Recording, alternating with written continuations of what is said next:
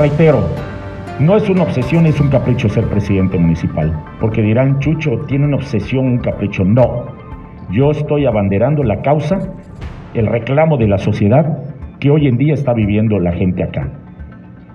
Las mujeres, en vez de ser atendidas, son reprimidas. Vean lo que pasó el 9 de noviembre, hace unos meses atrás, cuando por una causa justa, derivado del incremento de feminicidios, maltrato familiar, violencia contra las mujeres, van a pedir ayuda al Palacio Municipal y las agarraron a balazos. Y debo reconocer aquí, no me va a dejar mentir, a una reportera que le tocó, Cecilia Solís, que estás acá, Ceci, que te tocó una bala de verdad y la enseñaste. Y no es mentira. Y es una pena que este gobierno tenga cerrado el Palacio Municipal y las pretensiones que pusieron las mujeres en el palacio, hace unos días la, le pusieron y la pintaron de color blanco. Quien dio la orden para los balazos, con pintura no se olvida. La sangre no se borra con pintura.